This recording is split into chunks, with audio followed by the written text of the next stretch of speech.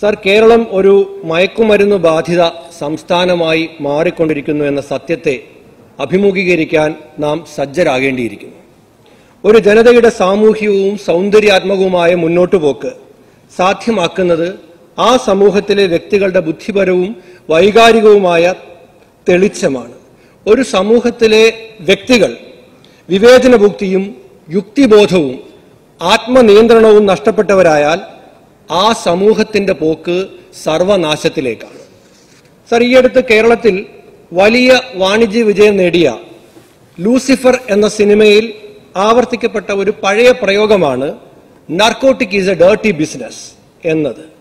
ആ ബിസിനസിന്റെ ആഗോള കച്ചവട മൂല്യം ചില വർഷങ്ങൾക്ക് മുൻപ് തന്നെ അറുന്നൂറ്റി അൻപത് ബില്യൺ ഡോളർ കടന്നതായി പഠനങ്ങളുണ്ട്. രണ്ടായിരത്തി പതിനേഴിൽ മാത്രം ബർഡൻ ഓഫ് ഡിസീസിന്റെ കണക്ക് പ്രകാരം ഏഴര ലക്ഷം പേർ നിരോധിത മയക്കുമരുന്നുകളുടെ ഉപയോഗം മൂലം മരണപ്പെട്ടിട്ടുണ്ട് എന്നാണ് കണക്ക്. വ്യാപാരത്തിലൂടെ ഇത്രയും പണം കണ്ടെത്തുന്നത് ഒരു രാജ്യാന്തര കുറ്റവാളി ശൃംഖലയാണ് എന്നത് അതിന്റെ മറ്റു നിലയിലുള്ള പ്രത്യാഘാതങ്ങളെ കുറിച്ചുകൂടി ചിന്തിപ്പിക്കാൻ നമ്മെ പ്രേരിപ്പിക്കുന്നു. ആ അന്താരാഷ്ട്ര സംഘത്തിന്റെ ഇടത്താവളമായി നമ്മുടെ കേരളത്തെ മാറാൻ അനുവദിച്ചുകൂടാ സാർ. കൊച്ചി രാജ്യാന്തര വിമാനത്താവളത്തിൽ സിംബാബ്വേയിൽ നിന്നും നാട്ടിലെത്തിയ ഒരു മലയാളിയിൽ നിന്നും മുപ്പത്തിരണ്ട് കോടി രൂപയുടെ ലഹരി മരുന്നാണ് പിടികൂടിയത്. ഈ മരുന്ന് ഡൽഹിയിൽ ഏറ്റുവാങ്ങാൻ നിയോഗിക്കപ്പെട്ടത് ഒരു നൈജീരിയൻ സ്വദേശിയായ യുവതിയാണ്. ഇത് ഈ മാഫിയയുടെ അന്താരാഷ്ട്ര സ്വഭാവം സൂചിപ്പിക്കാൻ വേണ്ടിയിട്ടാണ് ഞാൻ ഈ പ്രത്യേക സംഭവത്തെ ഉദാഹരണമായിട്ട് സഭയുടെ ശ്രദ്ധയിലേക്ക് കൊണ്ടുവന്നത്. ഈ ആഗോള മാഫിയയുടെ പ്രാദേശിക പ്രത്യാഘാതങ്ങളിലേക്ക് വന്നാൽ കണ്ണൂർ സ്വദേശിനിയായ ഒരു സ്കൂൾ വിദ്യാർത്ഥിനി കഴിഞ്ഞ ദിവസം നടത്തിയ വെളിപ്പെടുത്തൽ നമ്മെ നടുക്കേണ്ടതാണ്. ഒരു ഒമ്പതാം ക്ലാസ്സുകാരൻ മയക്കുമരുന്നിനിരയാക്കി തന്നെ മാത്രമല്ല തന്റെ പുറമെ പതിനൊന്നോളം പെൺകുട്ടികളെ ലൈംഗികമായി പീഡിപ്പിച്ചു എന്നാണ് ആ പെൺകുട്ടി വെളിപ്പെടുത്തിയത്. കേസിലെ പ്രതി പതിനാല് വയസ്സുകാരനാണ്. സാർ കേരളത്തിലെ ഒരു വിദ്യാലയമാണ് സാർ. സാർ എന്ത് തരം നാടാണ് സാർ നമ്മുടെ കുഞ്ഞുങ്ങൾക്ക് വളരാൻ വേണ്ടി നാം ഒരുക്കി കൊടുക്കുന്നത് ഒന്നര വർഷത്തിനിടെ ഇരുപത്തൊന്ന് വയസ്സ് തികയാത്ത മൂവായിരത്തി തൊള്ളായിരത്തി മുപ്പത്തിമൂന്ന് പേരെയാണ് വിവിധ ലഹരി വിമുക്തി കേന്ദ്രത്തിലേക്ക് പ്രവേശിപ്പിച്ചിരിക്കുന്നത്. സാർ അതിൽ നാൽപ്പത് ശതമാനം പേരും പതിനെട്ട് വയസ്സിൽ താഴെ പ്രായമുള്ള കുഞ്ഞുങ്ങളാണ്. സാർ ജനുവരി മുതൽ ജൂൺ വരെ ഇരുപത്തൊന്ന് വയസ്സിന് താഴെ പ്രായമുള്ള ഉൾപ്പെട്ട മുന്നൂറ്റി എൺപത്തി ഒമ്പത് കേസുകൾ രജിസ്റ്റർ ചെയ്തിട്ടുണ്ട്.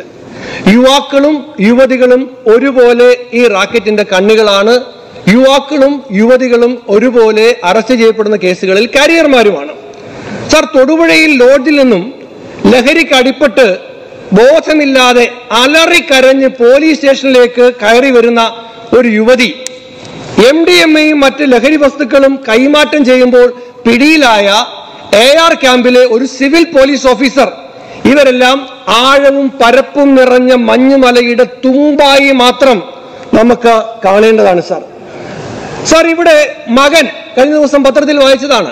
ഇങ്ങനെയുള്ള വാർത്തകൾ എല്ലാ ദിവസത്തെയും പത്രങ്ങളിൽ നിന്ന് ചാനലുകളിലും വരുന്നുണ്ട്. അമ്മയെ ഗ്യാസ് സിലിണ്ടർ തലക്കടിച്ച് ഗ്യാസ് സിലിണ്ടർ കൊണ്ട് തലക്കടിച്ചു വന്ന കേസ് പ്രതി ലഹരി കടിമയാണ്. കൊച്ചി കാക്കനാട് ഫ്ളാറ്റിൽ യുവാവ് കൊല്ലപ്പെട്ട സംഭവത്തിന്റെ അന്വേഷണവും എത്തി നിൽക്കുന്നത് മയക്കുമരുന്ന് മാഫിയയിലേക്കാണ് സാർ. അപ്പോ ഈ സംസ്ഥാനത്തെ പ്രമുഖ കലാലയങ്ങളിലെ അതുപോലെ ഹയർ സെക്കൻഡറി സ്കൂളുകളിലെ പ്രിൻസിപ്പാൽമാരുമായി ഈ വിഷയം നിയമസഭയിൽ അവതരിപ്പിക്കുന്നതിന്റെ ഭാഗമായിട്ട് ഒരുപാട് പേരുമായി വ്യക്തിപരമായി സംസാരിച്ചു സാർ സാർ അവരെല്ലാം വളരെ ഭയത്തോടുകൂടി ആശങ്കയോടുകൂടി പങ്കുവെക്കുന്നത് സ്കൂൾ വിദ്യാർത്ഥികളിലെ അടക്കം ലഹരിയുടെ ഉപയോഗത്തിന്റെ അപകടകരമായ ഭീഷണമായ അവസ്ഥയെക്കുറിച്ചാണ്.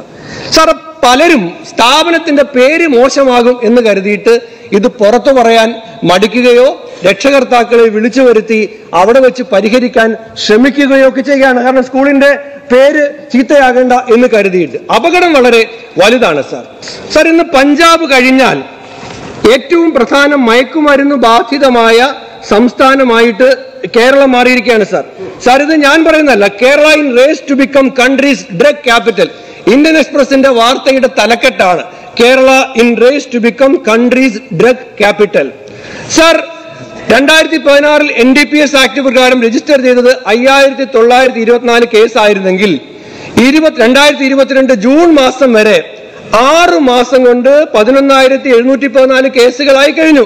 സർ മുഖ്യമന്ത്രി പറയുമ്പോൾ അതിനേക്കാൾ അല്പം കൂടി കൊടുത്തു. കാരണം എന്നെക്കാൾ കുറച്ചുകൂടെ ആധികാരികമായ കണക്കുകൾ ലഭ്യമായിട്ടുള്ളത് ബഹുമാനപ്പെട്ട മുഖ്യമന്ത്രിക്കാണ്.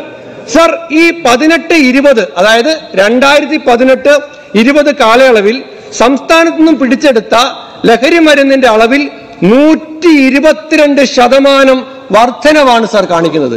നൂറ്റി ഇരുപത്തിരണ്ട് ശതമാനം വർധനവാണ് പതിനെട്ട് ഇരുപത് കാലയളവിൽ പിടിച്ചെടുത്ത ലഹരി വസ്തുക്കളുടെ കാര്യത്തിൽ.